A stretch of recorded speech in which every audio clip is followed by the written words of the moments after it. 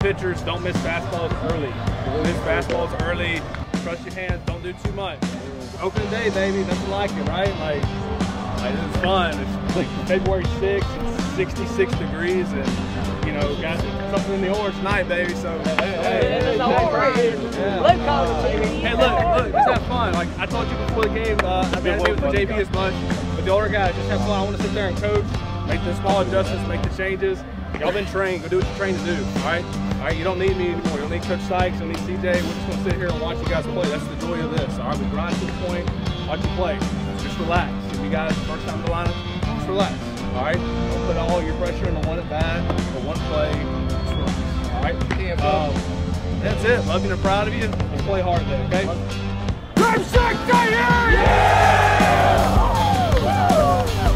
Game day, baby. Let's go.